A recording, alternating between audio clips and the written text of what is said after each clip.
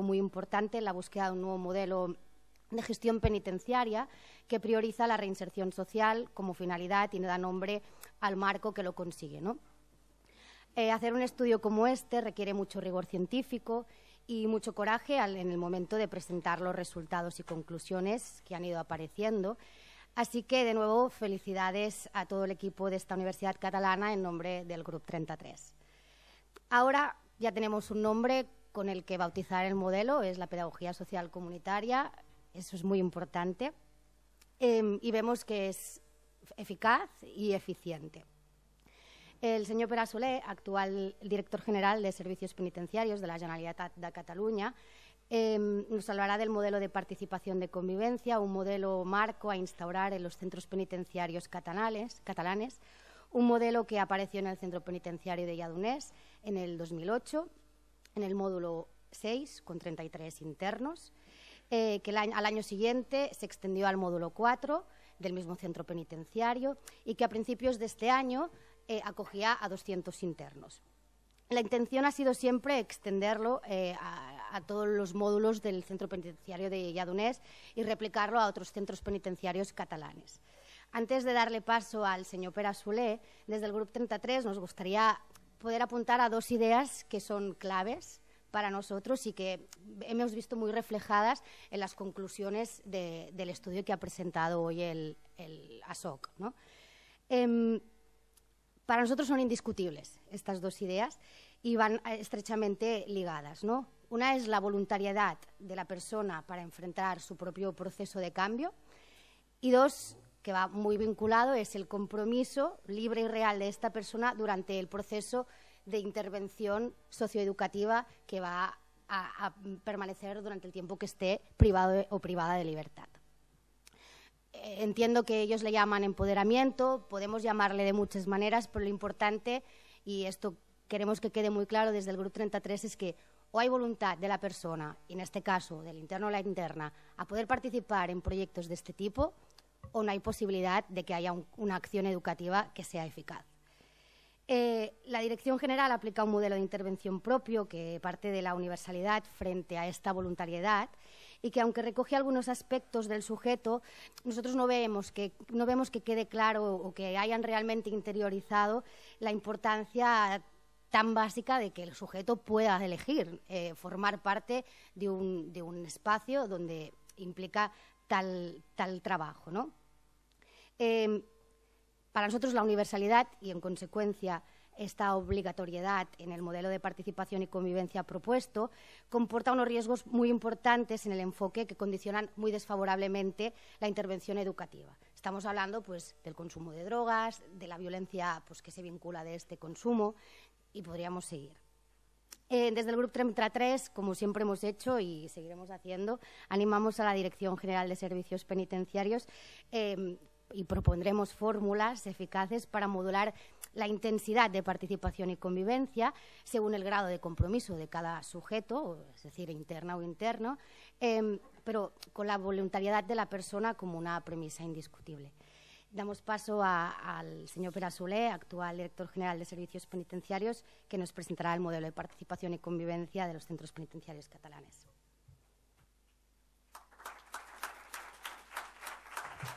Bé, moltes gràcies a tots i a totes, primer per l'assistència, gràcies doncs, en aquest cas a la invitació a les jornades de, sobre pedagogia social de la Facultat d'Educació Social i Treball Social Pere Tarrés. Veig aquí algun electe també, gràcies per haver vingut i també vull agrair també la presència ah, sent, vull agrair també la presència doncs, als companys que han vingut de la UT de Villabona. Llavors m'han demanat que la intervenció la féssim en castellà vosaltres ja sabeu que, que en principi la qüestió és la voluntat d'entendre'ns, tot i que doncs, eh, des d'aquest efecte doncs, el, farem en català. Eh? Ai, perdó, el farem en castellà la voluntat. És que, clar, és que jo vaig amb el xip, a més com que... Eh? Però bueno, tot i que ens costi, davant d'això, de, de la bona predisposició d'entendre'ns, perquè jo crec que els nostres funcionaris, nuestros funcionarios estuvieron en, en vuestra casa cuando empezasteis el proyecto en el 2007, fuiste un referente, fueron a ver, y sí que es verdad, como ha dicho Marta en este caso, que diferimos en cierta parte de cómo lo vemos, básicamente haremos primero en la exposición un poco de histórico y donde nos referiremos también al modelo nuestro de clasificación interior y dónde asociamos nosotros o dónde intentamos o, o dónde creemos a nivel transversal tiene que estar la participación y vosotros sabéis y conocéis también en nuestro sistema que tenemos diferentes módulos de integración, que en los centros nuevos se ha pretendido esta, a esta universalización más allá de la voluntariedad y aquí es donde nosotros diferimos un poco, pues si no luego ya podemos entrar en el debate, pero para que no estamos tan versados, que yo, bueno, hay personas mucho más indicadas que yo, en este caso la Dirección General, pero me ha tocado a mí porque queríamos darle valor y ponerle en valor el tema de la participación y la convivencia. Doncs para, para, los que no estamos tan al día a día con este tema, primero haremos un contexto histórico, empezaré la conferencia con esto, luego veremos cómo se ha ido introduciendo la participación en nuestro modelo penitenciario catalán y luego veremos la experiencia de Yedunés y la revisión que nosotros tuvimos después de la experiencia piloto en el tema de Yedunés. Esto será un poco la base de la exposición que, que os haré. ¿De acuerdo? Pues Empezamos, bueno, en el marco de estas jornadas que decíamos, en la pedagogía social comunitaria en centros penitenciarios y en programas de residencial, hemos querido titular pues, nuestra presentación como el modelo organizativo penitenciario en Cataluña, la clasificación interior y la participación. Y lo hemos hecho así porque tanto en la justificación de las jornadas como en, en sus objetivos se habla de la idea de mejorar la intervención penitenciaria a través de la mejora en la organización de los centros penitenciarios y en la forma de concebirla, tanto en la línea más formal, o sea, el cómo se hace, como la ideológica, perdón, el cómo se hace. En este sentido, la clasificación interior de los centros penitenciarios y las formas de participación de los internos en la vida del centro creemos nosotros que están internamente o muy directamente relacionadas.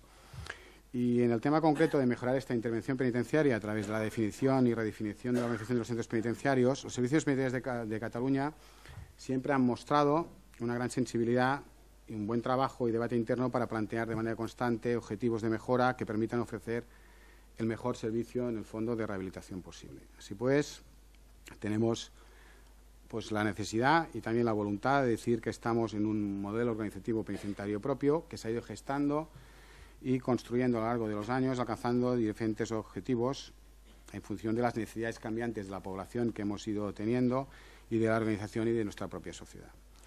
Entre estos objetivos de mejora siempre está presente la necesidad de mejorar la calidad de vida, en este caso de los internos y las internas y de los profesionales que también intervienen uh, con la finalidad última de la consecución de los objetivos de reinserción social, perdón, que es lo que nosotros deseamos en, en nuestra intervención.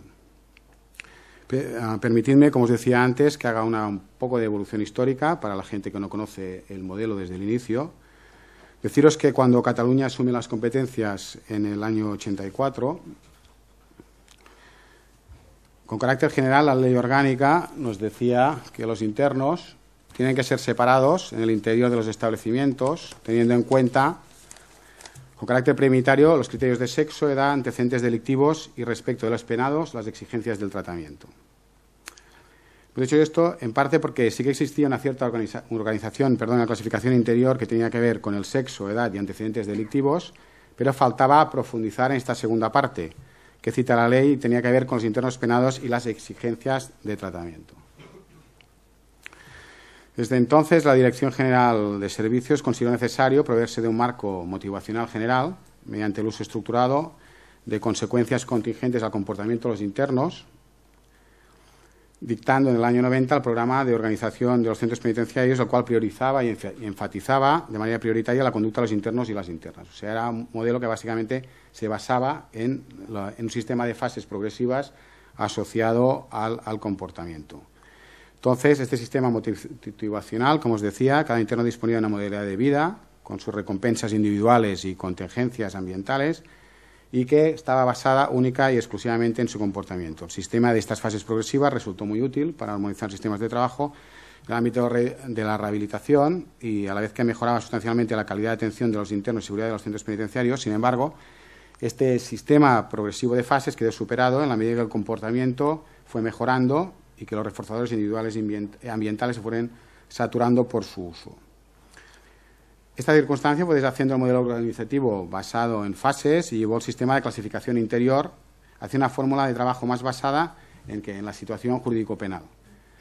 Esto fue primero el comportamiento, luego esta situación jurídico-penal. Y se empiezan a conocer los módulos o unidades de vida asociados a que las largas condenas, a los módulos de permisos, etcétera, etcétera. En el marco de este proceso de crecimiento reajuste a los cambios en los sistemas de clasificación interior y fruto de esta experiencia acumulada, en esta, tanto en la investigación internacional, en el campo de la criminalidad, como en la ejecución penal y las investigaciones que hemos tenido a lo largo de nuestro territorio sobre el modelo de ejecución penitenciaria, en Cataluña ya se empieza a liderar un cambio de modelo de organización que toma como eje central la separación de los internos según las necesidades principales de intervención.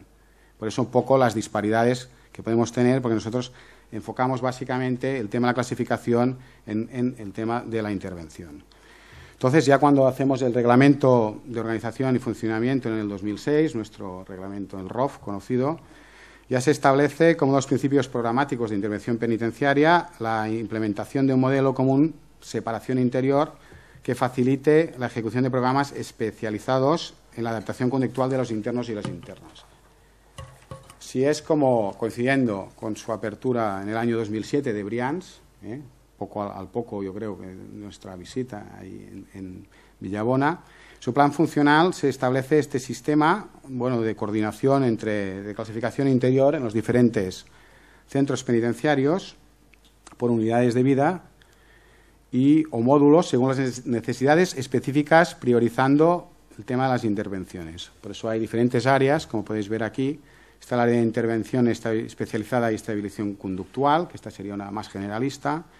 Eh, teníamos un área de intervención en conductas violentas, que ahí también se han aplicado en el módulo 4, en Yadunés, todo el tema de, la participación y convivencia. Tendríamos el área de intervención en conductas adictivas, que sería, por ejemplo, en el módulo 6 también en los, centros nuevos, que también se trabajó todo el módulo de participación y convivencia. También tenemos, claro, una, área de preparación de, de, vida en libertad y otra más asociada a lo que es toda la intervención de salud mental y orgánica.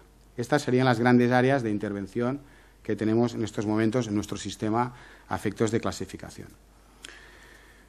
Este, pero eso, eh, ello lo ponemos también en sintonía, o queremos ponerlo en sintonía o en valor, porque ello no quita que estos sistemas de clasificación interior no tengan en cuenta tampoco la evaluación y la gestión del riesgo, que es otro tema del RISCAMBI que nosotros tenemos implementado a la hora de, hacer la, la, individualización en este caso de, los tratamientos, y también eso tampoco no tiene por qué no casar con un sistema que fomente la participación de los internos en la organización de la vida o del módulo una vez ya clasificados por estas unidades de actuación.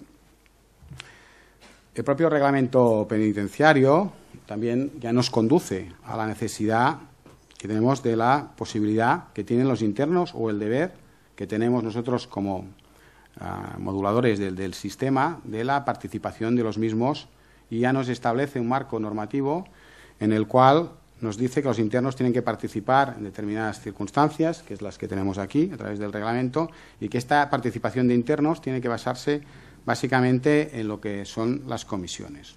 Esto es el marco normativo que en, en este momento nos ofrece, en este caso, el reglamento penitenciario. Nosotros, en nuestro sistema, hemos tenido acciones de participación o sistemas de participación que han sido más parciales y en otros centros que hemos tenido más posibilidad de intervención o de implantación de este sistema de participación pues de una forma pues más ordenada y más amplia. Si, si, nos fijamos, vemos ya que desde prácticamente en el año 91 ya se empieza a trabajar con la participación en el tema de los internos, básicamente asociado a todo lo que eran los temas de DAES. DAES son, uh, son módulos este caso que están relacionados con las drogodependencias y se, han, implementado con diferente éxito dependiendo de determinados modelos, pero ya vemos que empezamos en cuatro caminos, luego cuatro caminos se empieza con el Zoo también en el módulo de mujeres y en esta eh, tenemos que, constatar, y si así es cierto, que también redundó, por ejemplo, en el módulo 4 de Cuatro Caminos, en una gran, o una gran mejora ambiental todo el fomento de participación en estos módulos asociados, como decíamos, en este caso al tema de los DAEs de la drogodependencia. En Cataluña, también y concretamente en, Brians 2, Tenemos el módulo 8 destinado a la intervención con población drogodependiente y hacía referencia antes el centro penitenciario de Yedunés, que tenemos el módulo 6 y el módulo 4. También existen, como bien sabéis, la mayoría de los presentes, unidades de vidas también denominadas de participación, en las que existe un diseño funcional que potencia pues, las estructuras de trabajo basadas en una mayor participación de los internos y todos los profesionales, en este caso, que están pues, asociados a la organización del módulo, como después, si queréis, nos referiremos. Básicamente empezamos lo que decíamos como dos módulos, en el cual se, fomentaba, en este caso, todas las comisiones de participación, pero también se pudo constatar de, nuestra experiencia en el año 2011, cuando se hizo un estudio, que también los módulos, en este caso, asociados a la participación en este centro nuevo de Yadunés, habían comportado también una disfuncionalidad o determinadas disfuncionalidades en el, departamento de los centros y se pretendió también un poco universalizar todo el sistema. O sea, no centrarlo como la participación en sí misma, sino también desde esta diferenciación que hacíamos por módulo, por la clasificación interior que hemos visto antes, pues dotar, dotar a todos los módulos determinadas estructuras participativas pero no tan centradas el módulo en sí mismo como si la participación y la convivencia fuera un sí, un, fin en sí mismo, sino asociado a toda la intervención, porque también se constató en el estudio que se hizo en el 2011 que también la mayor participación a veces, que no tiene por qué ser así, pero es lo que se constató en el 2011, iba en perjuicio a veces de un mayor tratamiento o mayor intervención individualizada por el tipo de delito concreto por el cual estaban en el módulo. Entonces, un poco para corregir esto y para dar también, dotar una mayor mm, mm, implementación de todo el, sistema de participación, se hizo lo que hacía antes referencia Marta, pues un poco de, lo que se tendió a la, mayor, a la mayor implantación dentro de todos los módulos. En, si queréis, desde una perspectiva de menor implantación, pero sí que es cierto que no por eso todo lo que son las comisiones de participación y el programa de acogida y todos los sistemas que se asocian a, todos los modos de participación y convivencia, como pueden ser los sistemas de gestión de la información y de resolución de conflictos, en este caso se quisieron extender, o esto era la idea, o es la idea de la dirección general, a todo lo que era el funcionamiento del centro. Este, este estamos un poco estamos en, revisión constante, porque en el fondo hace poco que esto se universalizó a lo que era todo el centro penitenciario de Ayadunés.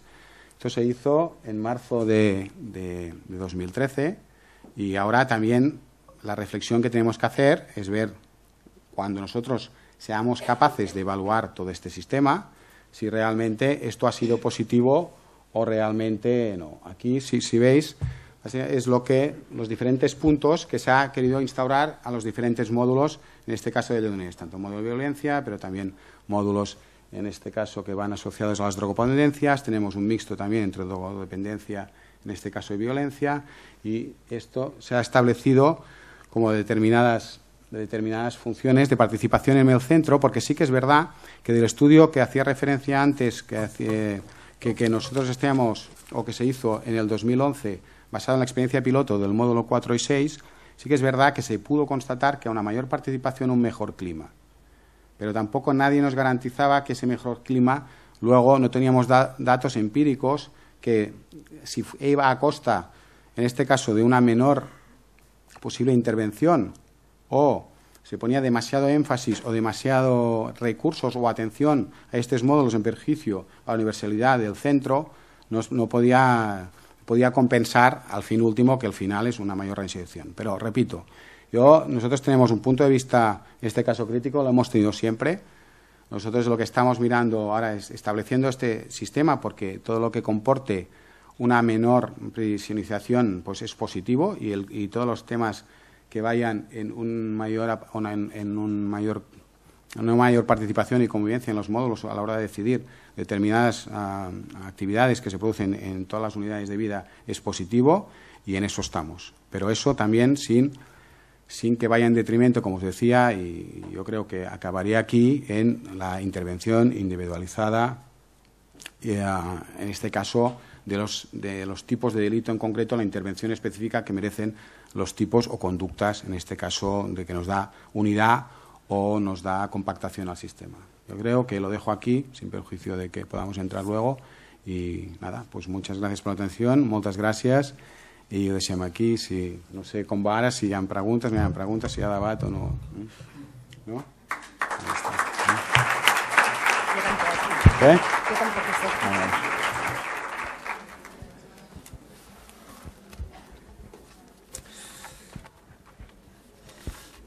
Moltes gràcies, senyor director general, Pere Soler. Moltes gràcies, Marta. Uh, precisament aprofitant la vinentesa de, del que comentava, crec que és un bon moment, parlant amb el, amb el professor emèrit eh, Jesús, eh, s'ha mostrat flexible a la possibilitat d'abans la, de fer la seva xerrada, Ay, disculpa, voy a pasar a castellano, de hacer su, su conferencia, de poder abrir una, un turno de palabras. Ha habido bastante demandas por parte de alguno de vosotros de, de tener la posibilidad de hacer un diálogo, ya sea con el señor director general, ya sea también con la, con la gente de la, de la UTE, aprovechando la oportunidad que están aquí. Si os parece, antes de hacer la conferencia, sí creo que es un buen momento, que es aprovechando que, que aún hay quórum, que podemos eh, aprovechar la, su presencia. O sea que es el momento. Si, si queréis preguntar alguna cosa, hacer alguna reflexión. Yo, que- yo quería comentar una cosa. Que quería comentar una cosa que yo supongo que si estuviera preso me diría que tendría que cambiar. Diría, llevo, es que llevo muchos años, me diría que llevo muchos años repitiendo conductas que no me llevan a ningún lado. Entonces yo veo un centro penitenciario y veo que no cambia, que sigue reproduciendo no los mismos problemas que hace muchos años. Entonces digo, bueno, si me piden a mí que cambio porque no me funcionaba lo que yo hacía, digo, si los centros penitenciarios no funcionan, tampoco cambian, ¿por qué tengo que cambiar yo? Pues en principio lo que he querido explicar es la evolución que ha ido teniendo el sistema en función no solo de la diferencia de los internos, pues no son los mismos internos que tenemos ahora, por ejemplo, que los que teníamos en el año 84 cuando nosotros tomamos la competencia. Y luego este sistema de clasificación interior y de intervención promoviendo, o sea, el fin último, que es la reinserción, ha ido variando y lo hemos ido adaptando a las necesidades. Como he dicho, en la evolución historia, histórica, perdón, no solo a los diferentes estudios que se han ido produciendo a lo largo del tiempo, no, solo a nivel nacional, sino a nivel internacional, y se ha ido caracterizando un sistema propio que hay una evolución. O sea, yo no estaría de acuerdo tanto, podríamos estar de acuerdo en el éxito o no de las fórmulas, pero es que también nadie tiene fórmulas mágicas, porque en el fondo si todos tuviéramos fórmulas mágicas, al final pues no tendríamos internos, que sería el fin último que todos pretenderíamos. Pero un poco, yo sí que te puedo discutir, en este caso la mayor, de que mm, ha ido una evolución y tenemos una evolución, pero lo que explicaba, primero por comportamiento solo del interno, lo hemos ido por el tipo de, pues, de conductas adictivas, se ha intervenido mucho más, luego se, también se ha evaluado el riesgo, etcétera, etcétera. O sea, se ha ido todo lo que es la clasificación interior, la evolución en el tratamiento ha ido evolucionando y ahora estamos, en este caso, lo que estábamos y han pretendido también nuestros compañeros, establecer nuevas fórmulas, en este caso como pueden ser la participación y convivencia, que vienen a sumar ¿Para qué? Para mejorar. Si el fondo nosotros lo que lo único que tenemos que hacer es una- intentar la mejora constante y en eso estamos. ¿Aquí hay otra pregunta? Viene el micro. Sí, buenas tardes. Desde el Grupo 33 pues, eh, hemos tutelado desde el año 2008 eh, la formación de estos módulos de participación y convivencia de Jeduners, donde los auténticos protagonistas, por supuesto, que han sido los internos y han sido los, el personal de vigilancia, que es un equipazo, por cierto, y el personal de tratamiento que, ha tenido el centro, que han sido los auténticos protagonistas, pero nosotros desde su inicio lo hemos estado, lo hemos estado tutelando. Entonces, realmente, el 2013 esto ha dado un cambio importante, que yo creo que usted lo explicaba muy bien y con mucha valentía y coraje, y se lo agradecemos, pero realmente los beneficios estos que se suponen pues deberán de llegar, pero mientras tanto lo que ha ocurrido es que el módulo 6 y 4, pues todo lo que había, digamos, de voluntariedad, todo lo que había de pertenencia de grupo, todo lo que había de, buen ambiente, de clima y de superación y todos los ya beneficios con- contrastados que habían tenido, que estaban teniendo los internos, pues han desaparecido de una manera total y la verdad que es- están ahora en un momento muy parecidos todos los módulos con un consumo de drogas y de violencia que preocupa mucho a todo, a todo el centro penitenciario. Con lo cual nosotros entendemos que esta obligatoriedad, esta, esta no voluntariedad y esta universalidad del modelo va en contra totalmente de unos buenos resultados de reinserción y de rehabilitación y nos da la sensación que el tiempo nos dará la razón. Por ahora nos lo da, yo no sé si en el futuro hay que tener un poquito más de paciencia, hemos tenido mucha, vamos a seguir teniéndola, vamos a tener un buen diálogo con la Dirección General, pero nos parece que hay que confiar en unos modelos alternativos distintos que aunque se vayan un poco de su control, pues realmente, como pasa en la UTE, tiene que pasar en Cataluña, que los modelos alternativos de transformación pues tienen que dar unos resultados óptimos al final. Sí, lo que pasa que, a ver, para responder un poco, eso lo hemos discutido, y lo hemos hablado y lo estamos mirando y, yo he dicho que esta universalización está sometida a revisión, como ha estado, en este caso, la revisión de unos módulos específicos que ahora yo tampoco quería entrar ni, ni ni, ni, en el fondo ni criticar, o sea, ¿cómo explicaría yo? A ver, las disfunciones que nosotros entendemos desde la dirección general que se produjeron en estos módulos, porque yo creo que es un debate que podemos tener en privado, pero no hace falta que tengamos en, público, si, si, me permites, ¿eh? porque en el fondo yo tampoco entraría en ni, ni todo era tan bueno ni, ni, ni ahora es todo tan malo. Yo creo que todo a ver, lo he intentado explicar, he intentado ser objetivo en el diagnóstico. Sí que es verdad que ganamos en unas cosas y perdemos en otras, pero sí que es cierto que cuando hay voluntariedad, pues siempre es más fácil. Y entonces también dependemos también del criterio de selección de los internos de los módulos. Cuando hay voluntariedad, pues siempre es más fácil si hay compromiso, que si no, no hay compromiso.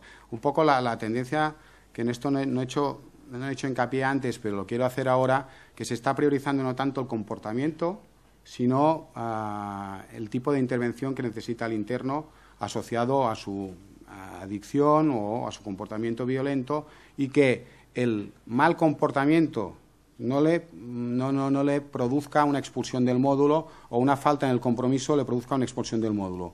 Porque se cree, yo no sé si acertadamente o no desde la Dirección General, que la permanencia en el módulo puede conllevar ya a la larga, aunque sea un proceso más lento, pues, pues un una mayor posibilidad de reinserción siempre que nosotros trabajemos, en este caso, las técnicas de intervención necesarias pues, para el tipo de delito en el cual, en el cual caracteriza el régimen de, módulo de vida. Eso el tiempo nos lo dirá, pero yo, lo he dicho, sí, sí, sí, sí, bueno, sí, yo creo, si no lo vuelvo a repetir, que esto es un modelo, que no sé si paciencia no, pero esto se nos subvencionó en el marzo del 2013. Dejanos un poco de tiempo, sin perjuicio que nosotros podamos hacer con la dirección del centro, pues a ver qué es lo que podemos avanzar o qué es, en qué podemos mejorar, pero yo creo que tenemos que ir por ahí. No que sea un fin en sí mismo, porque puede ser, sí puede irle muy bien a los internos que están en estos módulos, pero nosotros, como dirección general, siempre tenemos que pensar en la generalidad de todos los internos. O sea, no nos vale un sistema en que solo los que quieran pues vayan a la reinserción, sino el mayor número posible vayan a la reinserción. No solo los que ya de, principio lo quieran, a través de la voluntariedad y participación y compromiso, sino intentamos pensar que desde el mundo, desde el tratamiento igualitario, podamos tener más oportunidades en un mayor nombre de internos. Yo creo que esta es la discusión, pero bueno, ya la iremos teniendo e iremos mejorando. Gracias. Hola, buenas tardes. Eh, soy Manuel Capdevila, profesor de esta casa, pero también eh, trabajo en el Centro de Estudios Jurídicos del Departamento de Justicia. Sí soy responsable de investigación y me gustaría hacer una matización a, los comentarios que se han hecho sobre el, tema de la reincidencia. Vamos a ver, eh, la tasa de reincidencia que se ha dado del 40% que se da en Cataluña es una tasa de reincidencia que es penitenciaria. Eh, ¿Eso qué quiere decir? Muy brevemente, si ustedes cogen una pirámide invertida, arriba de todo tenemos las, encuestas de victimización, que son las que dan una mejor tasa. ¿Por qué? Porque preguntan al ciudadano si han sido víctimas de un delito. Y internacionalmente son las reconocidas como las mejores para explicar la tasa de delincuencia de un país, las taxas de victimización. por debajo de esa taxa están normalmente las, eh, las tasas de autoinculpación, que se preguntan a las personas si han sido eh, autoras de un delito. Entonces, eh, la gente normalmente, si es anónimo, suele responder y internacionalmente se reconoce esa potencia como segunda, como segunda fase. Las policiales serían las que mm, se refieren a las personas que han estado detenidas, no juzgadas, sino detenidas. y es una tasa que se suele dar bastante porque hay estadísticas oficiales en las que las la policía da al Instituto Nacional de Estadística unos datos de, las personas que han detenido. Se suelen utilizar bastante. Por debajo de las policiales están las judiciales, que son las que normalmente utiliza Europa y que creo es a las que se refería Faustino cuando hablaba de esos datos del 60% de europeas. Son las más comunes y las más aceptadas porque son las, aquellas personas que han sido llevadas delante de un juez, independientemente de que hayan sido declaradas culpables, porque luego hay los sobreseimientos y hay otra serie de causas que hace que esas personas no sean juzgadas, pero se admite que pueden haber cometido algún tipo de reincidencia y, por lo tanto, en la tasa cuenta. Y luego vienen las penitenciarias, que son las que utilizamos aquí en Cataluña. ¿Por qué utilizamos las penitenciarias? Porque a nivel de datos son las únicas que hemos sido capaces de eh, institucionalmente conseguir para poder dar alguna cifra. Y las venimos utilizando desde hace bastantes años, y este es el 40%. Eh, seguimos las indicaciones de Europa en cuanto al tiempo de seguimiento, que son cinco años. Eso quiere decir que cuando un estudio hace una eh, eh, aproximación de dos años, pues está bien, pero tiene el límite de que hasta los cinco años se considera que la reincidencia es bastante factible. Siempre puede haber reincidencia, pero con cinco años Europa nos dice que es como suficiente. Y luego están los perfiles. Claro, no podemos hablar exactamente, como decía Faustino muy bien, de un colectivo que eh, tiene una problemática de toxicomanía, que un colectivo que no la tiene, que un colectivo que voluntariamente hace un proceso de desistimiento y quiere dejar que coger a toda la generalidad de personas que están dentro de un centro penitenciario, primer grado, segundo grado, tercer grado, libertad condicional, y medir lo que sería una muestra de esa población. Entonces, lo que está ocurriendo siempre con las cifras es que cogemos aquella que nos interesa para lo que queremos explicar.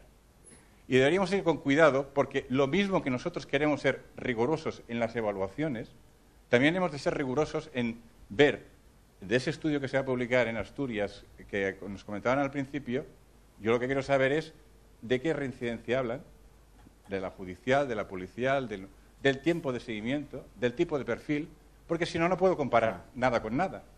Estoy haciendo eh, eh, simplemente y llanamente como un ejercicio de intentar eh, justificar una explicación que yo lo voy a dar, pero que de alguna manera nos desacredita si empezamos a decir esta historia de, si el 40 respecto al 60, que si no hablamos de personas que tienen problemática de toxicomanía, etcétera, etcétera. Entonces, quería hacer esta precisión porque mm, normalmente ocurre esto cuando se habla de la tasa de reincidencia. Y luego, la última cosa eh, es la tasa de reincidencia no es la mejor medida para saber el, procedimiento de reinserción. No es la mejor medida. Es la más sencilla, porque simplemente nos permite coger unos datos y decir aquello. Europa nos pide que hagamos otra, eh, eh, nos fijemos en otros indicadores, que eh, habla de reinserción. Y al hablar de reinserción habla de estas personas han podido volver a trabajar o insertarse en un tema laboral, estas personas han podido volver a un núcleo familiar, estas personas han podido permanecer en programas libres de drogas, no han vuelto a recaer. Pero ¿qué es lo que ocurre? Que este tipo de eh, tasa es tan caro para poderlo conseguir que prácticamente los estudios no se hacen. Esta sería la idea. Entonces, yo les pediría a los estudiantes de esta universidad, al menos a mis alumnos lo hago, pero también a cualquier persona que eh, manipule datos, que tenga en cuenta que al darlos está influyendo mucho en la visión, o en la percepción que se tiene de, un tema. Y de una manera quizás inconsciente, también entra en la manipulación cuando intenta comparar sus datos sin explicar este concepto metodológico que la mitad o el tres cuartas partes de la gente no tenemos por qué saberlo. ¿De acuerdo? Pues era simplemente esto. Gracias.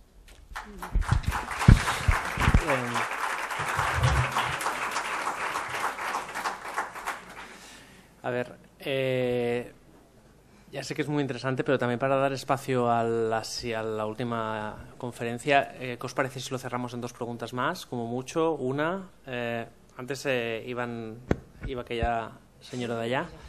Lo cerramos en aquellas dos preguntas y pasamos a la conferencia por deferencia y por, por interés, ¿de acuerdo?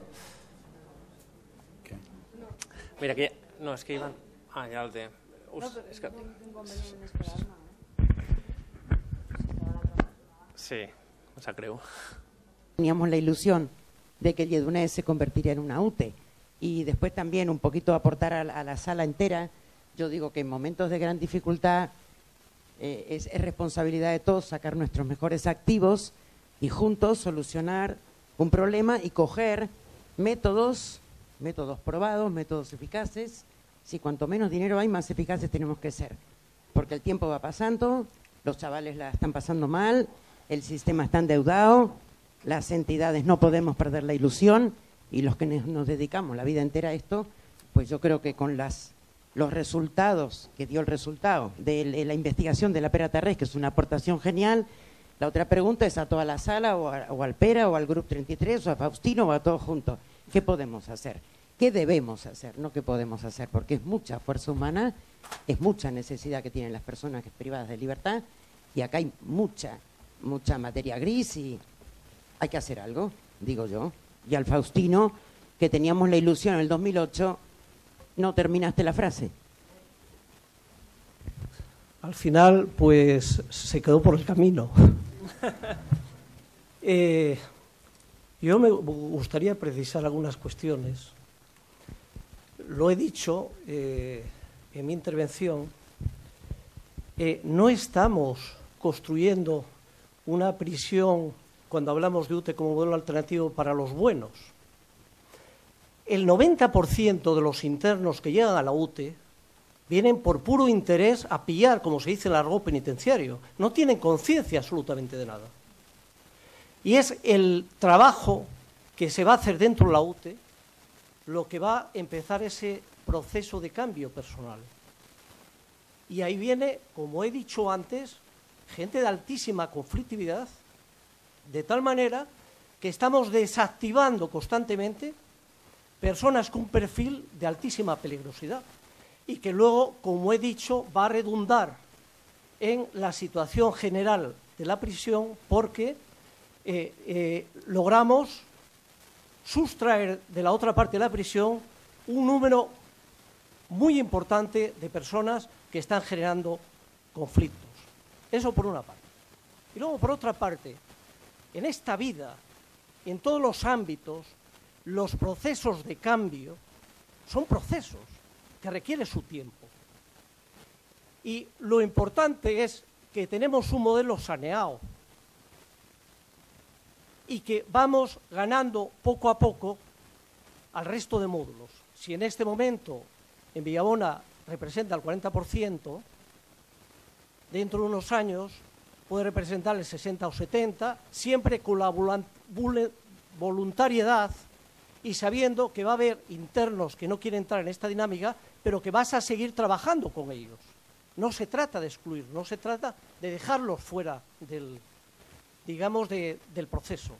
Y lo que sí está claro, que al final este tipo de modelo tira y arrastra al resto de, al resto de los internos. Eso es claro y evidente. Ahora, si les ofrecemos más de lo mismo, yo pondría un ejemplo. En la realidad penitenciaria que tenemos con la subcultura carcelaria, en un programa de eh, maltrato de género, pues vamos a situarnos lo que es la sesión de trabajo con el técnico, determinado, absolutamente cualificado, altamente cualificado. ¿Qué pasa cuando acaba esa sesión? Que es interno. Se va a vivir la realidad de la prisión, la realidad de la prisión, la realidad de la subcultura carcelaria, donde el machismo, vamos, impera de una manera, o sea, entonces era cuando hablaba de, la situación de esquizofrenia, ¿no? O sea, por una parte estás trabajando con él unas horas, pero su realidad no es esas horas que está con el terapeuta. Su realidad es la que le toca vivir en ese ambiente penitenciario. Y entonces se produce una contradicción donde lo que va a hacer ese interno, porque se la aboca a ello, ese interno lo que va a estar simulando y fingiendo para obtener sus objetivos, que es los beneficios penitenciarios. Entonces se convierte el sistema en un sistema perverso, absolutamente perverso. Entonces lo que estamos planteando es tenemos el modelo que tenemos, vamos a seguir trabajando, lo podemos mejorar todo lo que queremos, pero tenemos que ir construyendo la alternativa del futuro, como se ha hecho en todos los ámbitos de la sociedad, y que la institución penitenciaria no puede ser un tema absolutamente aparte.